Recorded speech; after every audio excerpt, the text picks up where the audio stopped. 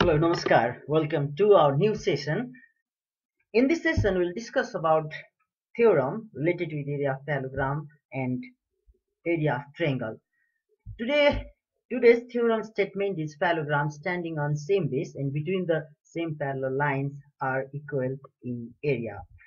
Here, two parallelograms A, B, C, D, A, B, C, D, and A, B, E, F are standing on same base AB, standing on same base AB, and between the same parallel lines AB and EF.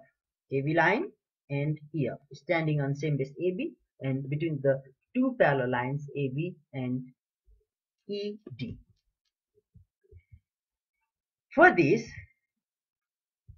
we'll start from given. Our given is two parallelograms ABCD and ABEF are on the same base AB and between the same parallel lines AB and D. That means AB line is parallel with D line. And our to prove is parallelogram ABCD is equal with parallelogram ABEF in area.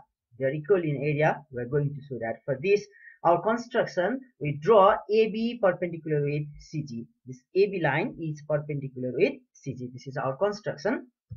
For this, let's start our proof.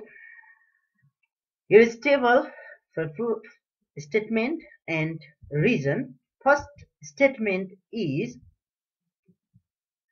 here area of ABCD. This area ABCD is equal with AB into CG.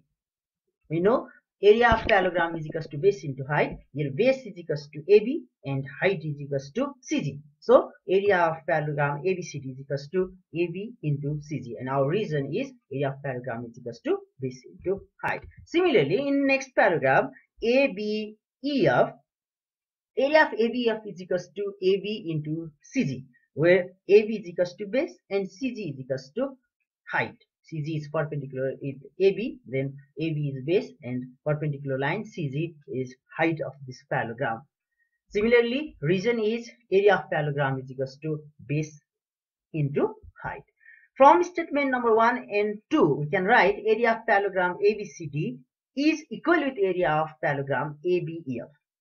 Look here, area of ABCD is equals to AB into CG and also area of ABEF is equals to AB into CG. So, here both parallelogram are equal with AB into CG. That means we can write area of ABCD is equal with area of ABEF. And reason is from statement number 1 and 2. So here is proved. Thank you for watching video.